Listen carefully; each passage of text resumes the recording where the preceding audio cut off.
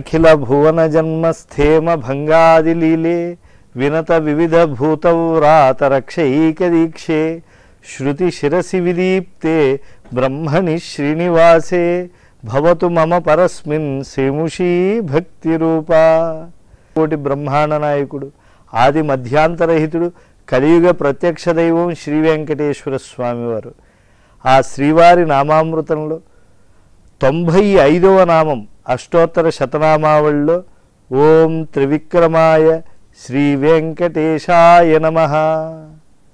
మహావిష్ణువు యొక్క దశావతారాల్లో ఈ త్రివిక్రమ అవతారము అనేటువంటిది చాలా విలక్షణమైనటువంటిది. అదితి గర్భంలో వామనుడై జన్మించాడు. దేవతలందరూ కూడా తమ రాజ్యాలను వారు ఆ యొక్క బలి మహాచక్రవర్తి యొక్క పరాక్రమాన్ని ధాటిగా ఎదుర్కోలేక పోగొట్టుకున్నప్పుడు తన ఆశ్రితులైనటువంటి దేవతాకోట్లకు బలి యొక్క ఆక్రమితమైనటువంటి దేవతానీక సంబంధమైనటువంటి దేవతా సంబంధమైనటువంటి ఆ యొక్క దివ్యమైనటువంటి సామ్రాజ్యాన్నంతా కూడా తిరిగి ఇప్పింపడానికి ఆ స్వామి అదితి గర్భంలో జన్మించాడు. మిగతా అవతారములు వేరు ఈ అవతారములు వేరు. ఎందుకంటే ఎంతో మృదుత్వాన్ని రామకృష్ణాది అవతారముల్లో స్వామి ప్రదర్శించాడు. కానీ అంతకన్నా ఒక రకంగా చెప్పాలంటే బలిని నిగ్రహించడం కన్నా అనుగ్రహించడానికి అవతరించినటువంటి స్వామి త్రివిక్రమ స్వామి ఈ వామనుడిగా వచ్చినటువంటి ఆయన త్రివిక్రముడై ఎదిగాడు. మనం అనేక మంది సంప్రదాయజ్ఞులు ఆ వామన స్థుతిపరత్వంతో నిద్రలేవటం అనేటువంటిది లోకంలో దర్శిస్తూ ఉంటాం. ఎందుకంటే వామనుణ్ణి మనం ప్రాతకాలం లేవంగానే ఆయన నామస్మరణతో కనుక ప్రారంభించితే దినచర్య ఆ రోజున చాలా ప్రసన్నమైనటువంటి దివ్యమైనటువంటి చిత్తవృత్తితో రోజంతా కూడా మనం భగవత్ చింతనతో పరిపూర్ణం చేసుకోగలుగుతామని చెప్పి చిరంతనమైనటువంటి భారతీయమైనటువంటి సంప్రదాయజ్ఞుల విశ్వాసం. అందుకే మనుచరిత్రలో కూడా ప్రవరుడు అంటాడు వామన స్థుతిపరత్వమున లేచి అంటాడు. అంటే ఆ అలసాని పెద్దన వామనుడు చక్కగా స్థుతింపబడితే ఆ ప్రవరుడి ద్వారా తర్వాత అతని ఎందు ఆ దైవికమైనటువంటి యజ్ఞయాగాది కర్మ నిష్ఠ అనేటువంటి చక్కగా ఏర్పడింది. ఎందుకంటే ప్రవరుడు సోమపంచకం చేసినటువంటి అధ్యయనం చేసినటువంటి వాడు నిత్యము ఆహితాగ్ని అయి అగ్నారాధన చేసి మహావిష్ణువును ఆరాధించేటువంటి చిత్తవృత్తి కలిగినటువంటి వాడు. అంతేకాదు అనేక మంది మహాకవులు దశావతార స్థుతులు చేస్తూ వామన స్థుతి అని అంటే ఎంతో ఆనందపడేవారు.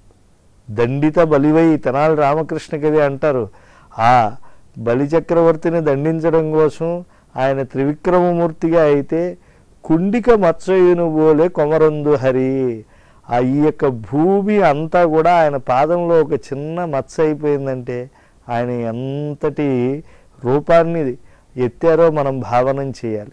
అలా ప్రాతకాలంలో కనుక త్రివిక్రమ స్మరణ చేస్తే మనకు క్రమంగా ఆ త్రివిక్రముడు ఎదిగినట్లుగా వామన రూపం నుంచి మనలో భక్తి భావన భగవంతుని ఎందు విశ్వాసము అది నిండుగా ఉంటుంది అనే భావన. అందుకే సుప్రభాతంలో కూడా వెంకటేశ్వర స్వామి వారి సన్నిధానంలో త్రైవిక్రమాదిచరితం విబుధాస్తువంతి భాషాపతి పఠతి వాసర శుద్ధి మారాత్ అంటారు. బలిచక్రవర్తి ఆ ప్రహ్లాదుడికి మనవుడు. ఎంతో ధర్మ నిష్ట కలిగినటువంటి వాడు. శుక్రాచార్యుల ఎందు ఎంతో విశ్వాసం ఉండేటువంటి వాడు. మరి యజ్ఞయాగాది క్రతువులు నిర్వహిస్తూ ఉన్నాడు. అటువంటి సమయంలో ఆయన నుంచి చక్కగా దానాన్ని పొంది ఆ దానము ద్వారా సమస్త సంపదలను తిరిగి దేవతలకు ఇవ్వాలి అని మహావిష్ణువు సంకల్పించి అదితి గర్భాన ఆయన అవతరించాడు. సాక్షాత్తు బుద్ధిని శుద్ధి చేసేటువంటి గాయత్రి మంత్రాధిష్టాన దేవత అయినటువంటి సావిత్రీదేవి వచ్చి ఆయన చెవిలో ఆ గాయత్రి మంత్రోపదేశం చేసింది. అలాంటి స్వామి ఎంతో పవిత్రతతో బలిచక్రవర్తి చేసేటువంటి యజ్ఞ వీధిలోకి వచ్చాడు. క్రమంగా యజ్ఞవాటికలోకి అడుగు పెడుతూ ఉంటే ఒక్కొక్క వేదము ఒక్కొక్క చోట హవనము చేస్తూ పఠిస్తూ ఉన్నారు. ఆ హవనముల దగ్గర ఒక్కొక్క వేదం ఋగ్వేదం చదువుతూ ఉంటే బహురుక్కులు కలిగినటువంటి ఆ యొక్క పద్యమయమైనటువంటి వాటితో మంచి ఆయన జత కలిపి వేద పండితులతో పాటు స్వస్తి చెప్పడం చేశారు. అలాగే సామవేదం పఠిస్తూ ఉంటే పులకించిపోయి ఆయన గానం చేశారు. ఎందుకంటే వేదానాం సామవేదోస్మి అని ఆ స్వామికి ఇష్టమైనటువంటి వేదం గనక. అలాగే యజుస్సులు యజ్ఞమునకు భిత్తి లాంటివి ఆ యొక్క యజుస్సులు. ఆ యజుర్వేదాన్ని కూడా చక్కగా ఆయన పఠించారు. తర్వాత అక్కడ అనేక శాస్త్ర చర్చలు చేస్తూ ఉంటే మధ్యలో శాస్త్ర చర్చల్లో ఆయన పాలు పంచుకున్నారు.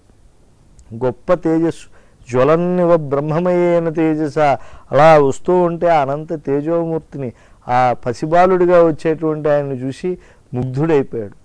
అందరికీ దానం చేస్తూ ఉంటే దక్షిణలు ఎందుకంటే దక్షిణాహ్పాంతు యజమానస్య కామాహ. దక్షిణలు ఇవ్వటం చేత యజమానుడి యొక్క కామనలన్నీ కూడా పరిపూర్ణమవుతాయి. ఈ యొక్క బాలకుడు రాగానే ఏం కావాలి అని అడిగాడు. అడిగేప్పటికి నాకు ఒక మూడు అడుగులు స్థలం ఇవ్వు అన్నాడు. అదేమిటయ్యా మూడు అడుగులు నిజానికి ఆరు అడుగులు కావాలి అని అంటే మనకు అంత్యకాలం ప్రాప్తిస్తే కోరిక ఏర్పడు.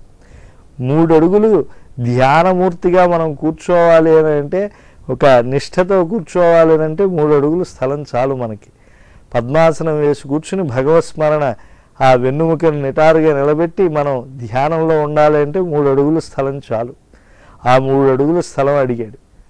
ఆ అడగటంలో ఆ వచ్చినటువంటి రూపాన్ని పోతన గారు చక్కగా అభివర్ణిస్తారు. ఆయన గొడుగును పట్టుకోవటం పాదుకలు వేసుకోవటం ఇవన్నీ బ్రహ్మచారికి నిషిద్ధమైనటువంటివి.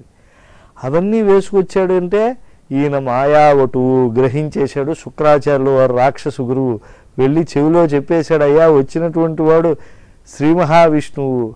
అవ్వచ్చుగాక నిరయంబైన ధర్మాన్ని ఎప్పుడు విడిచిపెట్టకూడదు. కాబట్టి ధర్మాన్ని నేను ఎటువంటి కష్టం వచ్చినా విడిచిపెట్టను అన్నాడు. వచ్చినవాడు మహావిష్ణువు అయ్యా బొంకవచ్చు ప్రాణవిత్త మానభంగాలందు మనం ఏదైనా తప్పు చెప్పవచ్చు తప్పు లేదు అని శుక్రనీతి చెప్తే కూడా ఒకటే మాట అన్నాడు ఆయన. ఆదిం శ్రీశతి కొప్పుపై తనువుపై అంశోత్తరీయంబుపై పాదాబ్జంబులపై కపోలతటిపై పాలిండ్లపై నూత్న మర్యాదంచెందు కరంబు క్రిందగుట. మీరై నా కరంబుంట మేల్గాదే రాజ్యము గిజ్యమున్ సతతమే కాయము నా పాయమే. ఆ శిబి దధీచి ఇత్యాదుల యొక్క పేర్లు ఎలా నిలిచిపోయాయి? వారు ఏమన్నా సిరి మూటగట్టుకుని పోయారా? కాబట్టి ఈ రాజ్యాల కోసం వీటి కోసం నేను విడిచిపెడతాను? పైగా మనం ఒకటికి దానం ఇస్తూ ఉంటే మహావిష్ణు స్వరూపాయ బ్రాహ్మణాయ అని దానం చేస్తూ ఉంటాం. మహావిష్ణువే వచ్చి స్వయంగా మన ముందు చేయి జాపితే ఎవరిది ఐశ్వర్యం అంతా? ఆయనదే కదా పరమాత్మదే కదా. ఈశావాస్యం ఎదగుం సర్వం. ఎత్కించిత్ జగత్యాన్ జగత్. తేన త్యక్తేన భుంజీతాహ మాగృధ కస్య సిద్ధనం ఏమిటి బలిచక్రవర్తిలో లోపము అంటే యజ్జుహోషి యద్ ఆప్నోతి యత్ కరోషి నువ్వు ఏం చేస్తూ ఉన్నావో ఏం తింటూ ఉన్నావో ఏది భావనం చేస్తూ ఉన్నావో అవన్నీ పరమాత్మవి అని చెప్పి నువ్వు అనుభవించు అని చెప్పి మనకి సంప్రదాయం చెబుతోంది. కానీ తనవి అని చెప్పి అనుభవిస్తున్నాడు బలిచక్రవర్తి. కనుక తనది కాదు ఇది నాదే అని చెప్పుకోవడానికి పరమాత్మ నడిచి వచ్చాడు ఆ యొక్క వామన స్వరూపంలో. ఆయనకు చక్కగా ధారతో సువర్ణ చషకంలోంచి మంచి జలంతో శుద్ధ జలంతో ఆయన ధార చేస్తూ ఉంటే ధర్మపత్ని వింధ్యావళి హంసలా నడిచి వచ్చి ఆయనకు ఆ దానంలో సహకరించింది. అప్పుడు ఆ గురువు గారు శాపం పెడతారు నీ యొక్క ఐశ్వర్యం అంతా నశ్వరం అయిపోవాలి అని. ఎందుకు నశ్వరం అవుతుంది? పరమాత్మకి సమర్పణం చేస్తే అది వృద్ధి చెందుతుంది. రాక్షసు గురువు కదా శపించాడు. కానీ పూర్వదేవతల పక్షంలో ఉండకుండా ఆ దేవతా స్వరూపత్వాన్ని పొంది ఆ బలిచక్రవర్తి సమస్తాన్ని కూడా ఆ పరమాత్మను ఆ భావనం చేస్తూ స- పరమాత్మదిగా ఆయన ఆ సమయంలో చింతనం చేస్తూ ఆయన ధారపోసాడు మూడు అడుగుల్లో మరి క్రమంగా ఆయన త్రివిక్రముడయ్యాడు. ఎలా అయ్యాడో కూడా మనకి పోతన మహాకవి అభివర్ణించడం మనకి తెలుసు. ఇంతింతై ఇంతయి మరియు తానింతై నభో వీధిపై అంతై తోయజ మండలాగ్రమున అలా పెరిగిపోయాడు ఆయన. పెరిగిపోయి ఆ సమయంలో ఆయనకి ఆ సూర్యుడు ఎలా ఉన్నాడు ముందు ఎలా ఉన్నాడు ఆ తర్వాత చెవి మత్ కంకణమై అలా ఒక్కొక్కసారి గ- గళముల్లో ఆభరణమైపోయి ఇలా అద్భుతమైనటువంటి ఆ త్రివిక్రమ స్వరూపాన్ని మనం భావనం చేస్తూ ఉంటే మనలో భక్తి భావనలు ఈరికలెత్తి అవి సమగ్రమైనటువంటి వటవృక్షంగా మారుతూ ఉంటాయి. అందుకని చదవాలి మనం ఆ త్రివిక్రమ చరిత్ర అంతా కూడా. అందుకే అలాంటి స్వామి ఈ వెంకటేశ్వరుడే అని చెప్పి చెప్పడానికి ఓం త్రివిక్రమాయ శ్రీ వెంకటేశాయ నమ అని చెప్పి చెప్పడం జరుగుతోంది. ఆయన త్రివిక్రముడయ్యాడు మరి ఒక పాదమంతా భూమిని కొలిచేసి ఒక పాదమంతా కూడా ఆయన ఆకాశాన్ని ఆయన త్రేధా నిధదే పదం అని శృతి చెప్పినట్టుగా ఆ పాదంతో పైన ఆకాశం అంతా కూడా నింపేశాడు. మరి అటువంటి సమయంలో ఆయన విరాణమూర్తిగా మారినప్పుడు మరి ఆయన పాదం కడగాలి కదా బ్రహ్మగారు. బ్రహ్మ కడిగిన పాదము బ్రహ్మము తానే నీ పాదము అని చెప్పి పాడుతూ ఉంటాడే అన్నమాచార్యాది వాగ్గేయకార సంతతి ఆ యొక్క సందర్భం అది. అప్పుడు బ్రహ్మగారు తన కమండలంలో ధర్మదేవతను జలంగా మారమని ఆ స్వామి పాద కడగాలి అని చెప్పి ప్రయత్నం చేస్తే ఆ జలం అయిపోయింది. అప్పుడు స్వామి బ్రహ్మ యొక్క ఆర్తిని తొలగించడం కోసం అని చెప్పి ఆ యొక్క అజాండ కర్పరాన్ని తన బొటను వేళ్ళతో కొట్టాడు. బ్రహ్మాండం బద్దలైందంటారే అలా బద్దలైంది అప్పుడు. అక్కడి నుంచి గంగ వచ్చింది. కనుక ఆ యొక్క స్వచ్ఛమైనటువంటి బ్రహ్మాండమునకు అవతలు ఉండేటువంటి ప్రాకృతత్వం ఏమాత్రము లేనటువంటి ఆ శుద్ధ సత్వమయమైనటువంటి గంగతో బ్రహ్మగారు ఆయన పాద ప్రక్షాళనం చేశాడు. అంతటి మహాద్భుతమైనటువంటి సన్నివేశం మనం ఓం త్రివిక్రమాయ శ్రీ వెంకటేశాయ నమ అని చెప్పి భావనం చేసేప్పుడు ఆ నామామృతాన్ని పఠించేప్పుడు ఇదంతా చదువుకోవాలి. అలా త్రివిక్రముడిగా ఆయన మారిపోతే జామవంతుడు వారు ఆయనకి మంగళాశాసనం చేస్తూ కర్పూర నీరాజనం బట్టి ముమ్మారులు తిరిగారట. ఇప్పుడు కూడా బలం విష్ణు ప్రవర్ధతాం అని చెప్పి ఆయనకి నీరాజనం బట్టి ముమ్మారులు ఆ విష్ణువుకి ప్రదక్షిణం చేస్తూ ఎవరైతే ఆ యొక్క విష్ణువుకి మంగళాశాసనం చేస్తారో వారి యజ్ఞములు వారి దానములు వారి హోమములు వారి తపస్సులు అన్నీ కూడా పరిపూర్ణమవుతాయి.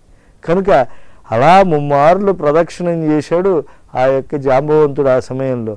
మూడవ పాదం ఎక్కడ పెట్టమంటావు? ఒక పాదం అంతా భూమండలం ఒక పాదం నభోవీధి నువ్వు జయించావు నేను ఆక్రమించా. అప్పుడు ఎవరైతే తను చెల్లించవలసినటువంటి పైకాన్ని ఎదుటి వాళ్ళకి చెల్లిస్తానని చెప్పి చెల్లించినటువంటి పరిస్థితిలో ఉంటాడో అప్పుడు వాడు బంధితుడు అవుతాడు గరుడాళ్వార్ల చేత వరుణ పాశముల చేత కట్టివేయబడ్డాడు ఆ యొక్క బలి చక్రవర్తి ఆయన పాదములు శిరస్సుకు తగిలేట్లుగా వరుణ పాశములతో గరుడాళ్వార్లు బంధించేస్తే పరుగు పరుగున ప్రహ్లాదుడు వచ్చాడు.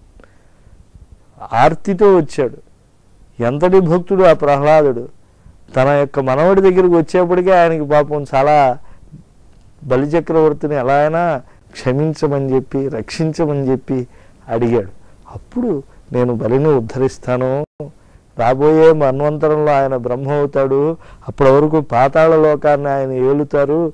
ఆయన యొక్క వాకిటను నేను కాపలా కాస్తాను అని చెప్పి